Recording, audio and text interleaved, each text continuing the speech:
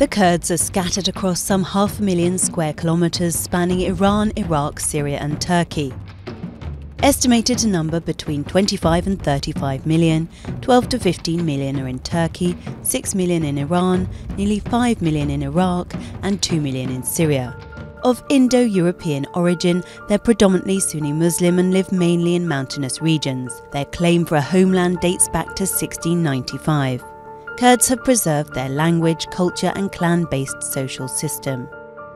Kurdish ambitions of a unified nation have been seen as a threat by all four host countries, resulting in a long history of persecution and discrimination.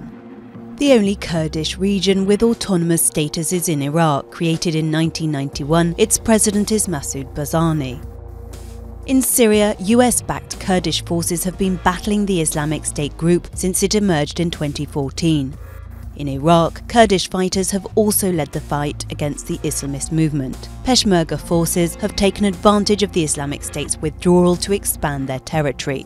In Turkey, the long standing separatist conflict between the government and the outlawed Kurdistan Workers' Party, known as the PKK, resumed in 2015 after a two year ceasefire broke down, dashing hopes of an end to the crisis, which has claimed more than 40,000 lives since 1984.